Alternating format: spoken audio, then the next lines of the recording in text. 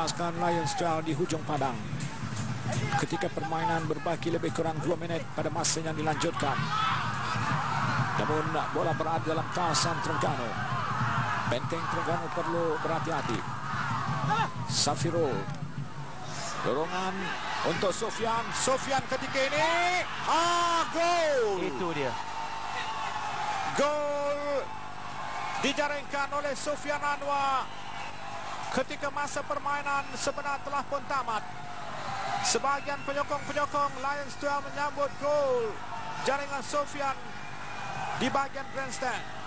Ya, baru saja saya perkatakan tadi konsentrasi dalam minit-minit terakhir ini amatlah ber, bermakna ya kerana apa yang penting konsentrasi di minit-minit terakhir ini dan kemasukan pemain baru Singapura tadi itu nampaknya membawa kejayaan dan memberi lorongan kepada Sufian. Kita lihat di sini kealpaan yang ditunjukkan betapa lambatnya mereka menutup ruang kepada Sufian bahagian pertahanan Terengganu dan seterusnya gol pertama untuk Singapura sedangkan di separuh masa kedua ini penguasaan sepenuhnya adalah daripada pasukan Terengganu.